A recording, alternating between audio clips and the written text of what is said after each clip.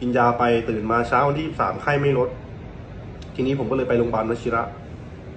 เพื่อเพื่อตรวจเพราะเรากังวลอยู่แล้ว เรากลัวอยู่แล้วว่าเราจะเป็นโควิด เพราะเราอยู่ในพื้นที่เสี่ยงเราพบเราเป็นบุคคลเสี่ยง เพราะเราเจอชาวต่างชาติมาก แล้วเราไม่รู้ว่าใครเป็นบ้าง เราก็กลัวอยู่แล้วนะครับ เราก็ไปหา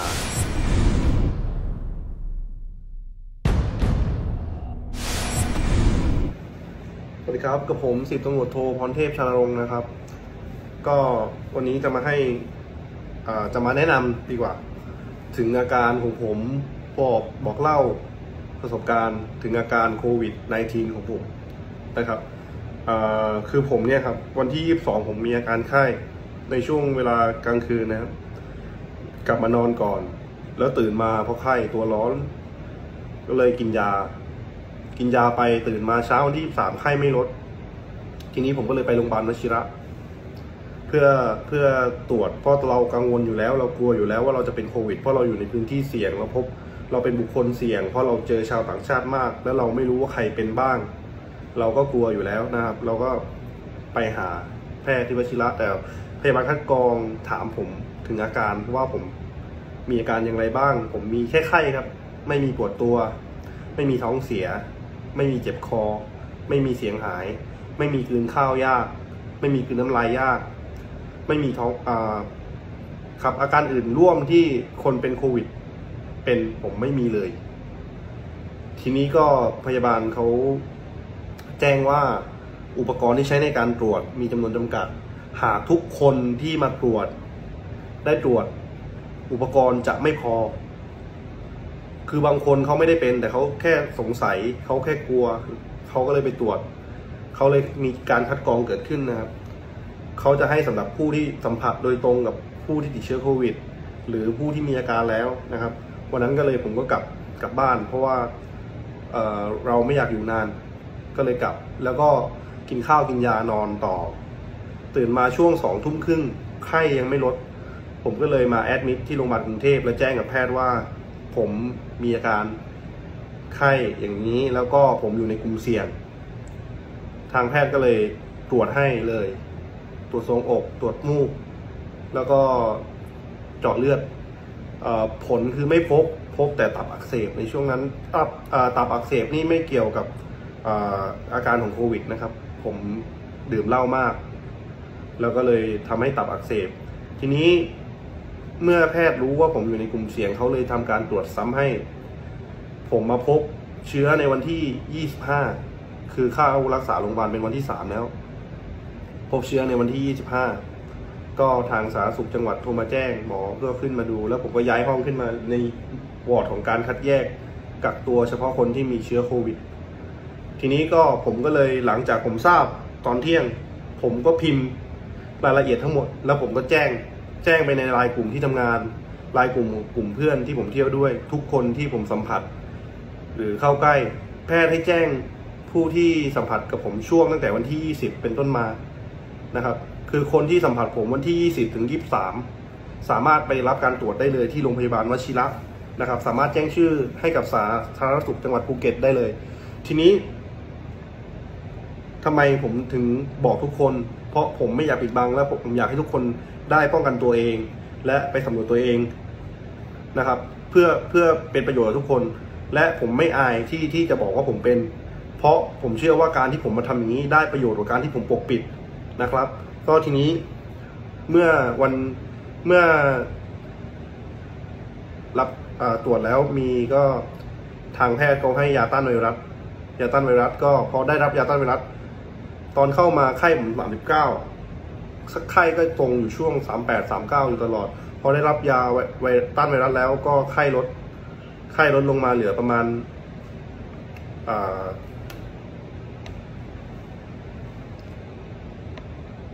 ไข้ลดลงมานะครับ เหลือประมาณช่วงนั้นก็ไข้ลด เหลือประมาณสามเจ็ดปลายๆก็คือไข้ต่ำพอรับยาต้านมาแล้วไข้ก็จะต่ำเลย บางวันอาจจะมีขึ้นมาสามแปดบ้างก็เลยไม่ ไม่น่าเป็นห่วงในเรื่องอาการไข้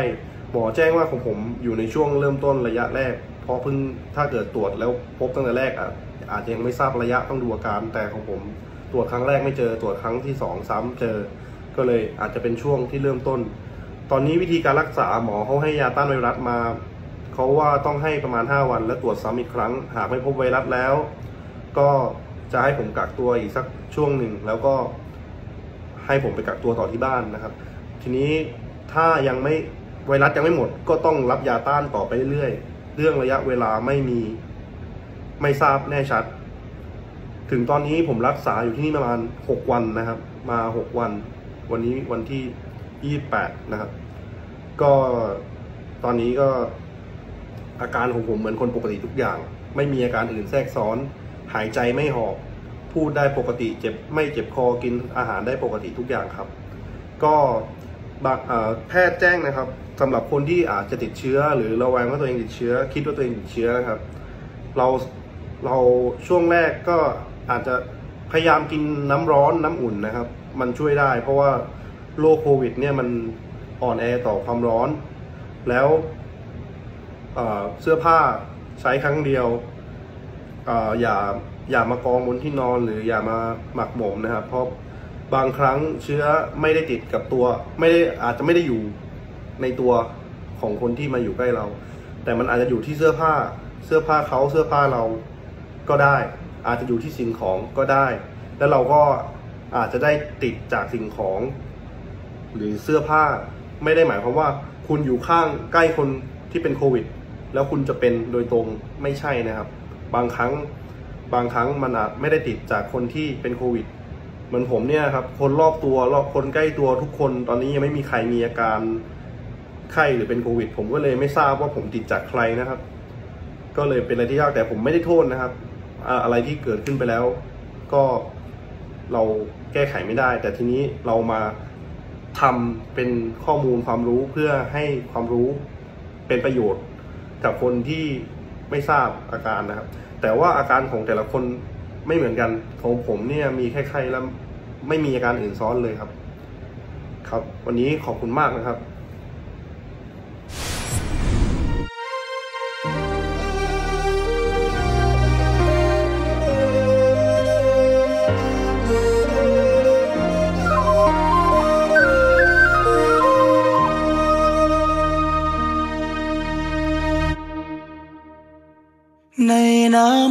ปลา ในนามีข้าว แผ่นดินของเรานั้นมีแต่ความสุขใจ พระบารมี ที่แสนยิ่งใหญ่ หล่อล้อมรวมใจให้ไทยเป็นหนึ่งเดียวกัน องค์พระราชา ที่ฟ้ากำหนด ทรงโปรดเมตตาให้ปวงประชา อุ่นใจ เมื่อถึงเวลา ที่ฟ้าตั้งใจ พวกเราชาวไทยพร้อมใจถวายพระพร มหาราชาของแผ่นดิน พระราชินีของแผ่นดิน ขอพระองค์ทรงพระเจริญ มหาราชาของแผ่นดิน พระราชินีคู่แผ่นดินสีกรุงรัตนโกสินทร์ทินเจริญ องค์พระราชา มหาวชิราลงกรท่านทรงอาทรให้ลูกหลานไทยปลอดภัยร่มเย็น พระบารมีสาสีงามเด่น เพราะท่านทรงเป็นแสงทองส่องทาง สว่างกลางไทย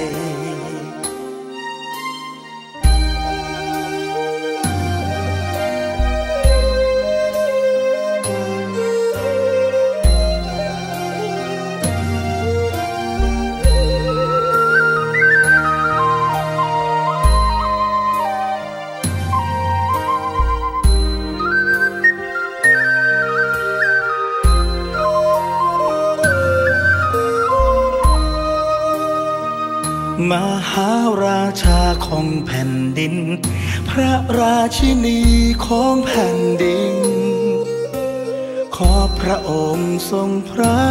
เจริญ มหาราชาของแผ่นดิน พระราชินีคู่แผ่นดินสีกรุงรัตนโกสินทร์ถิ่นเจริญ องค์พระราชา มหาวชิราลงกรท่านทรงอาทรให้ลูกหลานไทยปลอดภัยร่มเย็น พระบารมีสาสีงามเด่น พระท่านทรงเป็นแสงทองส่องทาง สว่างกลางไทย พระท่านทรงเป็นแสงทองส่องทางสว่างกลางไทย พระท่านทรงเป็นแสงทองส่องทาง สว่างกลางไทย